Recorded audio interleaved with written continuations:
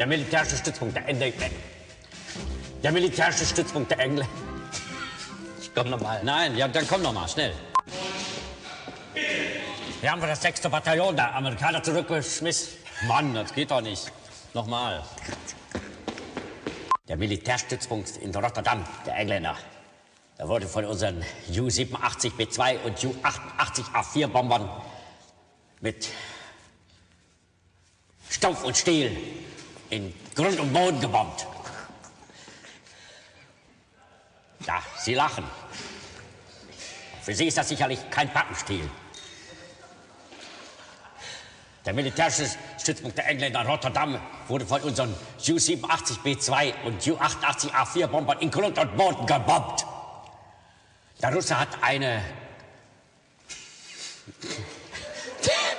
Der Russ... Der Russ hat eine gewaltige Niederlage bei Frankfurt-Oder erlitten und leckt seine Wunden tief in den Polen.